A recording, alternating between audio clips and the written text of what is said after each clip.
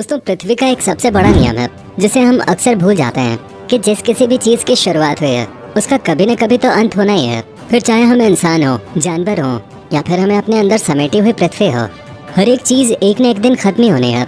लेकिन यहाँ सबसे बड़ा सवाल यह आता है कि आखिर हमारी पृथ्वी का अंत कब होगा? आज से लाखों करोड़ों साल पहले बन के तैयार हुई ये पृथ्वी कब जाकर अपनी अंतिम सांस लेगी? और क्या ऐसा जल्दी ही होने वाला है? और अगर होगा तो कैसा होगा? आज के इस वीडियो में इन सभी चीज़ों के बारे में चर्चा करेंगे। बस हमारे साथ वीडियो के अंत तक बने रहें। दोस्तों, हम इंसान चाहे कितनी भी एडवांस टेक्नोलॉजी क्यों ना बना लें, एक न एक दिन हमारा अंत होना तय है। और ये कोई पहली बार नहीं होगा। इससे पहले भी पृथ्वी पर विशालकाय डायनासोर राज किया करते थे। कुछ ज़मीन पर चलते थे तो कुछ आसमान में उड़ते थे। लेकिन आज वो सभी पूरी तरह से विलुप्त हो चुके हैं। क्योंकि पृथ्वी ने इतना भयानक विनाश देखा कि वो डायनासोर उसे झेल नहीं पाए, जिसके लाखों साल बाद हम इंसानों का जन्म हुआ। और आज हम पृथ्वी को अपने हिसाब से चला रहे हैं। लेकिन सवाल ये उठता है कि आखिर कब तक? कब तक हम इंसान पृथ्वी को अपना परमानेंट घर समझकर यहाँ डेरा जमाए बैठे रहेंगे? एक न एक दिन तो हमें भी इस दुनिया से विलुप्त ही हो जाना है, और इसमें कोई शंका नहीं है। ऐसा ज़रूर होगा, जब पृथ्वी पर किसी भी इंसान का नामो निशान नहीं बचेगा। हालाँकि कई सारी सभ्यताओं में पृथ्वी पर प्रलय, या फिर कह लीजिए कि विनाश की भविष्यवाणियाँ की गई हैं। अब जैसे कि अगर हम माया सभ्यता की बात करें तो इस सभ्यता के हिसाब से पृथ्वी को आज से दस साल पहले ही खत्म हो जाना चाहिए। जी हाँ माया सभ्यता ने अपनी भविष्यवाणी में पृथ्वी का अंतिम दिन 21 दिसंबर 2012 बताया था। आपको बता दें कि माया सभ्यता नॉर्थ अमेरिका की बहुत ही प्राचीन सभ्यता थे, जिसकी शुरुआत 1500 ईसा पूर्व मानी जाती है। माया सभ्यता अपने वक्त पर खगोल विज्ञान के मामले में बहुत ही उन्नत थे। यहाँ तक कि अंतरिक्ष के बारे में की गई उनकी कई सारी भविष्यवाणियाँ बिल्कुल सच साबित हुई। माया सभ्यता द्वारा बनाए गए कैलेंडर में 21 दिसंबर 2012 तक की तारीख बताई गई थे। उसके बाद की तिथि का वर्णन उनके कैलेंडर में नहीं है। माया कैलेंडर के अनुसार 2012 के बाद पृथ्वी का अंत होना था और ये चीज़ इतनी ज़्यादा प्रचलित हुए थे कि इस पर हॉलीवुड में फ़िल्म भी बना दी गई, जिसने बॉक्स ऑफ़िस पर काफ़ी अच्छा प्रदर्शन किया। और फ़िल्म को देखने के बाद लोग इतना ज़्यादा डर गए थे कि वो अपनी अंतिम इच्छा पूरी करने की जद्दोजहद में लग गए थे। हर कोई सोच रहा था कि अगर 2012 में दुनिया खत्म हो जाएगी तो क्या होगा, जिसके चक्कर में फ़िल्म तो चल गई, पर 2012 में कोई भी प्रलय या फिर विनाश नहीं हुआ। और आज हम 2022 में कदम रख चुके हैं।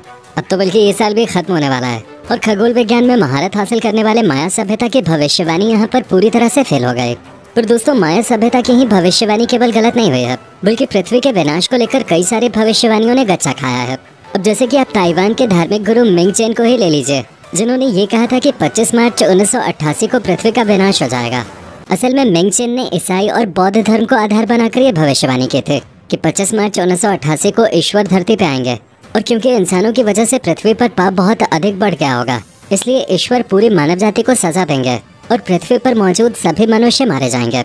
साल उन्नीस सौ अट्ठासी में ये बात इतनी ज़्यादा प्रचलित हुई कि महीनों तक ऐसी खबर को कई सारे अखबार वाले लगातार छापते रहे। लोग इसे लेकर काफ़ी ज़्यादा डर भी रहे थे, क्योंकि अगर मिंग चेन की बात सच हो जाते तो पूरी दुनिया की काया ही पलट जाते। ऊपर से इनके फॉलोअर्स भी बहुत बड़ी संख्या में थे, इसलिए सभी ने इनकी भविष्यवाणी को सच मान लिया और अपने जीवन के बचे खुचे काम करने में जुट गए। हालाँकि जैसे जैसे 25 मार्च की तारीख नज़दीक आई, लोगों ने अपने घरों से निकलना ही छोड़ दिया। यहाँ तक कि कुछ लोग इतना ज़्यादा डर गए थे कि उन्होंने अपनी नौकरी तक से इस्तीफा दे दिया, ताकि अपनी ज़िंदगी के आखिरी दिन वो अपने परिवार वालों के साथ बिता सकें। लेकिन दोस्तों, न केवल 25 मार्च का दिन बीता, बल्कि 26 मार्च की सुबह भी आए और अब तो इस बात को 30 साल से भी ज़्यादा वक्त हो गया है, जहाँ किसी भी ईश्वर का नामो निशान नहीं दिख रहा है, जो पृथ्वी पर बढ़ने वाले पाप का अंत करने के लिए ज़मीन पर अवतार लें। इसलिए मिंग चेन की ये भविष्यवाणी भी पूरी तरह से गलत साबित हुई। लेकिन भविष्यवाणियों का ये सिलसिला यहीं पर नहीं रुकता, क्योंकि अभी हाल ही की बात है जब एंड टाइम प्रोफेसी नाम की एक संस्था द्वारा पृथ्वी के विनाश को लेकर भविष्यवाणी की गए थे, जिसके मुताबिक उनतीस जुलाई सन 2016 को पृथ्वी खत्म हो जाएगी। जहाँ इस संस्था का कहना था कि उनतीस जुलाई 2016 से पृथ्वी के चुंबकीय द्रव्यों के पलटने के कारण कई सारी आपदाएँ शुरू हो जाएँगे, जिसकी वजह से लोगों को बहुत ही भयानक भूकंप और सुनामी का सामना करना पड़ेगा। और ठीक उसी समय एक उल्का पिंड भी धरती से टकराएगा। ये उल्का पिंड इतना ज़्यादा बड़ा होगा कि उसके टक्कर से पृथ्वी में बहुत बड़ी मात्रा में उष्मा पैदा होगी, जो एक बहुत भारी न्यूक्लियर बम के समान होगी, जिसकी वजह से पृथ्वी पर मौजूद जीवन पूरी तरह से नष्ट हो जाएगा। कोई भी जीव जंतु पृथ्वी पर अपना अस्तित्व बनाए रखने में कामयाब नहीं हो पाएगा। खास करके हम इंसान तो पूरी तरह से तबाह हो जाएँगे। पर दोस्तों, इतनी भयानक भविष्यवाणी के बावजूद भी आज साल 2016 न केवल बीत चुका है, बल्कि इस बात को छह साल से ज़्यादा का वक्त हो गया है, और हर कोई हँसी खुशी अपनी ज़िंदगी जी रहा है। तो दोस्तों, ये भविष्यवाणियाँ तो फेल हो गई क्योंकि आज समय और भी ज़्यादा आगे निकल गया है। लेकिन अब हम आपको एक ऐसी भविष्यवाणी के बारे में बताने जा रहे हैं, जिसके अनुसार आज से लगभग 40 साल बाद पृथ्वी का विनाश हो जाएगा। और ये भविष्यवाणी किसी और ने नहीं, बल्कि न्यूटन ने की थे। जी father of modern science Newton के अनुसार ये दुनिया साल 2060 तक पूरी तरह से खत्म हो जाएगी। खास बात यह है कि न्यूटन ने बात ऐसे ही नहीं कही है, बल्कि इसके पीछे एक अच्छा खासा फॉर्मूला मौजूद है, जिसके ज़रिए उन्होंने ये भविष्यवाणी की थी। गति के नियम के तमाम फॉर्मूलों का आविष्कार करने वाले न्यूटन ने 1704 में एक नोट लिखा, जिसमें ये कहा गया था कि एक समय ऐसा आएगा जब पृथ्वी के घूमने की गति बदल जाएगी जिससे दिन और रात आधे हो जाएँगे, और साल 2060 के बाद पृथ्वी पर समय बिल्कुल खत्म हो जाएगा। यानी कि किसी भी सूरत में ये दुनिया 2060 से आगे नहीं बढ़ने वाली है। न्यूटन ने ग्रेविटी और दूसरे ग्रहों को अपनी इस भविष्यवाणी का आधार बनाया था। अब ये भविष्यवाणी कितनी सच हो पाएगी और कितनी नहीं, इसका जवाब तो समय ही दे पाएगा। क्योंकि आज से करीब अड़तीस साल बाद जब साल 2060 आएगा, तब जाकर हम ये पता लगा पाएँगे कि न्यूटन ने जिस फॉर्मूले से धरती के विनाश की भविष्यवाणी की थे, उनका वो फॉर्मूला सही था या फिर नहीं? क्योंकि अब तक तो न्यूटन ने बहुत से बड़े बड़े फिजिक्स के नियमों से लोगों को रूबरू कराया है। और अगर उनकी ये बात सच हो जाती है, इसका मतलब ये कि मनुष्यों के पास ज़्यादा समय नहीं है। अब दोस्तों, बात करते हैं नॉस्ट्रेडामस की भविष्यवाणी के बारे में, जिन्होंने ये साफ़ कहा कि लगभग तीन हज़ार साल बाद, यानी कि पाँच हज़ार अस्सी में पृथ्वी पूरी तरह से नष्ट हो जाएगी। आपको बताने की नॉस्ट्रेडामस को भविष्यवाणियों का पिता माना जाता है, क्योंकि इनकी कई सारी भविष्यवाणियाँ बिल्कुल सटीक और सही साबित हुई हैं।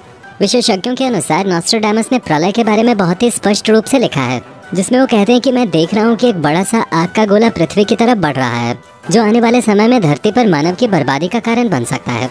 अब ऐसा कब होगा, इसके बारे में जानकारी बहुत स्पष्ट नहीं है, लेकिन ज़्यादातर जानकार ये घोषणा करते हैं कि नोस्ट्रोडामस की भविष्यवाणी के अनुसार ऐसा साठवीं शताब्दी के अंत में होगा। क्योंकि उस समय तीसरा विश्व युद्ध चल रहा होगा। और ठीक उसी दौरान आकाश से एक बड़ा सा उल्का पिंड हिंद महासागर की तरफ़ आकर गिरेगा, जिसके कारण समुद्र का सारा पानी पृथ्वी पर फैल जाएगा। और यही वजह है कि धरती के अधिकांश इलाके पूरी तरह से पानी में जलमग्न हो जाएँगे। या फिर ये भी हो सकता है कि इस भयानक टक्कर के कारण धरती अपनी धुरी से ही हट जाए और अंतकाल में समा जाए। पर दोस्तों, जो भी हो, लेकिन इस भविष्यवाणी की सच्चाई देखने के लिए साल पाँच हज़ार अस्सी तक न तो आप ज़िंदा होंगे और नहीं हम होंगे। तो इसके लिए तो हमें टेंशन लेने की ज़रूरत नहीं है। और दोस्तों, इन सभी भविष्यवाणियों के अलावा महान वैज्ञानिक स्टीफन हॉकिंग ने भी ये दावा किया है कि मानव जाति अधिकतम हज़ार साल तक ही जीवित रह सकते हैं, क्योंकि पृथ्वी आने वाले हज़ार सालों में समाप्त हो जाएगी। उन्होंने ये साफ़ कह दिया है कि अगर हमें इंसानी सभ्यता और हमारी एडवांस टेक्नोलॉजी को बचाना है तो अभी से ही नए ग्रहों की खोज शुरू कर देनी चाहिए, जहाँ पर हम इंसान अपना अस्तित्व बचा सकें, क्योंकि मनुष्य को हर हाल में हज़ार साल के अंदर किसी दूसरे ग्रह पर बस्तियाँ बसानी होंगे। वरना हम सबका अंत निश्चित है क्योंकि हम इंसानों के साथ साथ हमारी टेक्नोलॉजी हमारी एडवांसमेंट सब कुछ नष्ट हो जाएगा। और ये दोबारा फिर कभी हमें मिल पाएगा या नहीं, इसका कोई भरोसा नहीं है। क्योंकि जिस एवोल्यूशन के प्रोसेस से हम बंदरों से इंसान के रूप में बदले हैं, वो प्रोसेस आगे होगा या नहीं, ये कहा नहीं जा सकता। ऐसे में अगर हमें इंसानी प्रजाति को बचाना है तो दूसरे ग्रहों पर अपना घर बसाना ही पड़ेगा। और दोस्तों, हम स्टीफन हॉकिंग की इस बात से पूरी तरह से सहमत हैं, क्योंकि भले ही इन लोगों की भविष्यवाणियाँ आने वाले समय में गलत साबित हो जाएँ, लेकिन ये बात तो तय है कि कभी न कभी पृथ्वी का अंत होना ही है और उसके लिए हमें पहले से तैयार होना चाहिए, वरना सब कुछ तबाह हो जाएगा। बाकी आप इस बारे में क्या सोचते हैं कमेंट में ज़रूर बताएँ और चैनल को सब्सक्राइब करना बिल्कुल भी ना भूलें। धन्यवाद।